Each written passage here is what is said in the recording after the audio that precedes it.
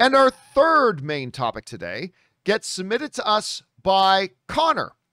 And Connor writes Greetings, John and crew. Love the show. Thank you so much, man. It has been revealed by Paramount that the next Transformers movie will be called Transformers Rise of the Beasts and has a June 24th, 2022 release date, which is crazy. Rob, that's one year from now. That's one year from now. Uh, so, about a year. What do you think of this news and bring on the filthy. All right. Thanks a lot for sending that in, man. And yeah, listen, we've known for a while that Paramount has been targeting doing more Transformers movies. I mean, go back four or five years, Rob, when they did the big Transformers. Remember, they did that big Transformers writers' room where they got, Right. you know, I think they had Steven S. Knight Steven Spielberg, and they brought in like 20 of these grand the creators and they plotted things out. So listen, we knew they're going to do more. And with the positive public reaction resurgence to the Transformers brand because of Bumblebee, which Bumblebee was fantastic.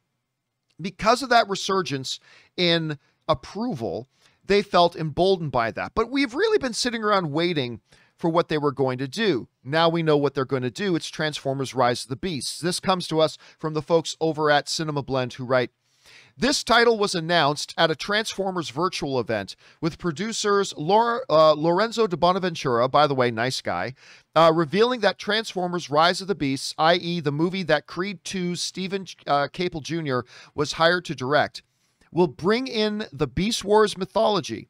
The Predacons, Maximals, and Terrorcons will all appear in Rise of the Beasts, which will primarily be set in 1994 Brooklyn, New York although there will be some action in Peru. Regarding why the next Transformers movie is pulling from the Beast Wars canon, Lorenzo di Bonaventura stated that it felt like the prior movies had exhausted the Autobot versus Decepticon conflict, and he and other creative minds wanted to show different tribes of Transformers. It was also announced that Optimus Prime and Bumblebee will both appear in Rise of the Beasts. And by the way, Rampage Predacon sends in a super chat badge in the live chat. Thank you, Rampage. All right. So we've got this new movie coming. Whatever. Look, I you guys know I grew up as a massive Transformers nerd, right? I mean, I had I would not only did I have every toy, I would cut up the boxes they came in and put the character figure and their power bar meter up on my bedroom wall. I clearly did not have a lot of ladies coming into my bedroom at the time. So I would put that stuff up on my wall. I, I love them. I love the first Transformers movie that Michael Bay did. I, I will defend that movie all day. I hated every single other Transformers movie Bay did. And then along came Bumblebee, loved it, resparked my passion for it again. And I've been looking forward to seeing another Transformers movie. But this notion that, oh, we've exhausted the Autobots and Decepticons thing, it's like, dude, you barely scratched the surface of the Autobots and the Decepticons. You barely scratched the surface.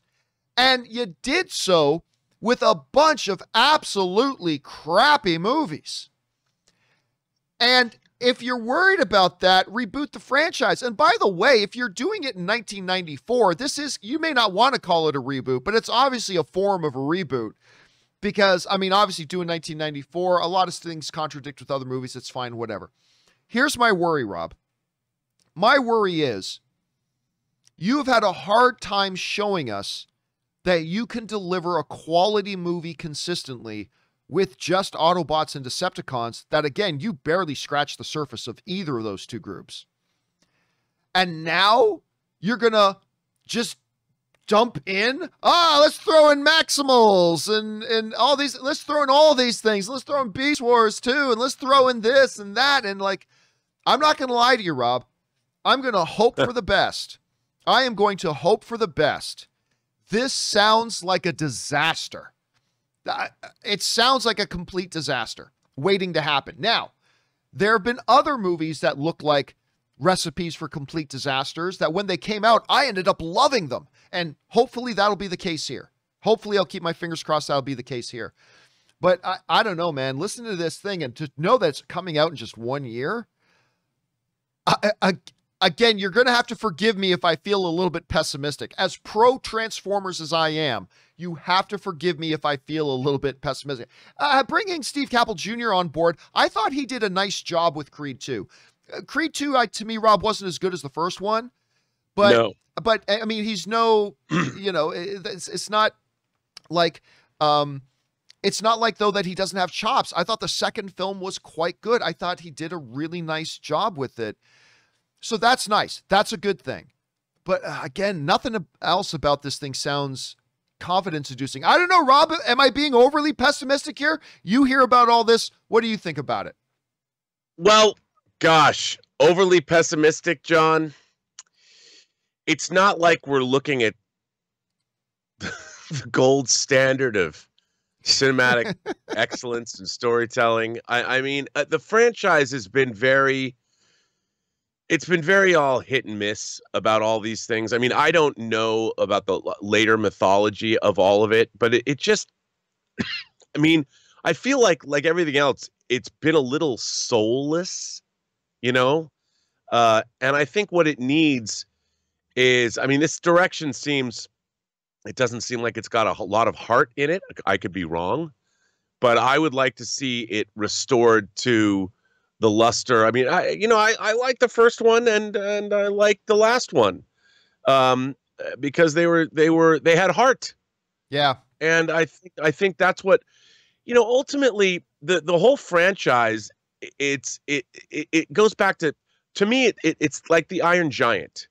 You know, you go back to like that and and and it's it's man and machine and and and all of that kind of relationship that's that's the core of it all because you, you know your human characters are are just as important in order to make the movies grounded and you have to have feeling in them and um, i think that's where they're going to live or die uh yeah again and i loved bumblebee man i i was so like i was really I was encouraged when we found out Travis Knight was directing Bumblebee because he had he had a really short, a small track record, but a really good track record. And I love the way you put that. He brought heart like I thought that first Transformers movie had heart. I thought Bumblebee absolutely had heart.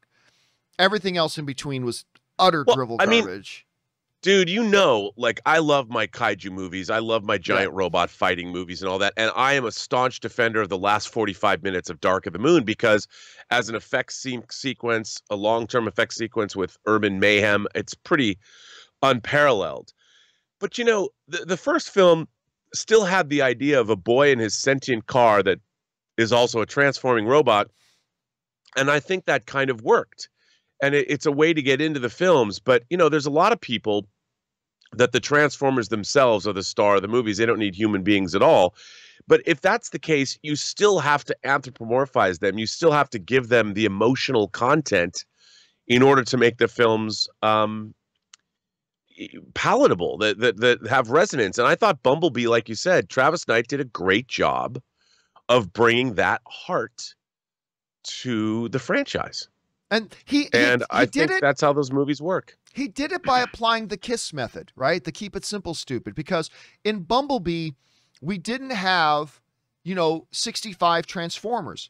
We had bumblebee we had the two decepticons Optimus makes a little appearance at the end. Obviously, there's that great opening Cybertron sequence, that opening Cybertron. But really, for the most part, there were three Transformers in it. Not that you have to follow that formula at all, I'm saying, but now it just seems like Lorenzo di Bonaventura, who is great, by the way, um, is saying, ah, let's just throw everything in there. Let's just throw it all in there and let's just go. But I, again, let, let me be clear there have been other projects that I felt were going to be complete disasters, and I ended up loving them. So here's here we go. Let's see if Steve Caple can do well. Uh, by the way, we got Sam P and RM send in super chat badges in the live chat. Thanks for the support, guys. Appreciate that uh, very much. So let's see. Let's see how we good. Listen, as long as you got a capable director in the director's chair, a lot of good things can happen, and they do have a capable director here. So let's see how it goes. Question is for you guys.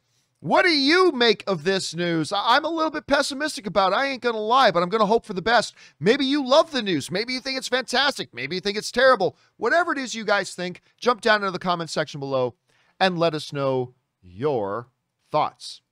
Okay, guys.